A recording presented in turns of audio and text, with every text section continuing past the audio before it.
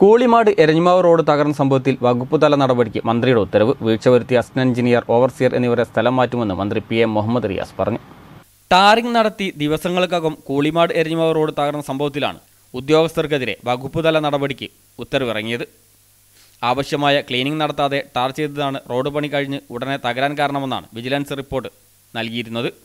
ഈ റിപ്പോർട്ടിന്റെ അടിസ്ഥാനത്തിലാണ് ഇക്കാര്യത്തിൽ വീഴ്ച വരുത്തിയ അസിസ്റ്റന്റ് എഞ്ചിനീയർ ഓവർസിയർ എന്നിവർക്കെതിരെ വകുപ്പുതല നടപടി സ്വീകരിക്കാൻ പൊതുമരാമത്ത് മന്ത്രി പി എം മുഹമ്മദ് റിയാസ് ഉത്തരവിട്ടത്.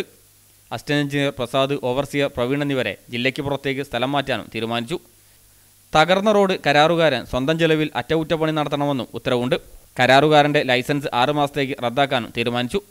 മാവൂർ കൂളിമാട് എരഞ്ഞിമാവ് റോഡ് ആറ് കോടി രൂപ ചെലവിട്ടാണ് പരിഷ്കരിച്ചത്.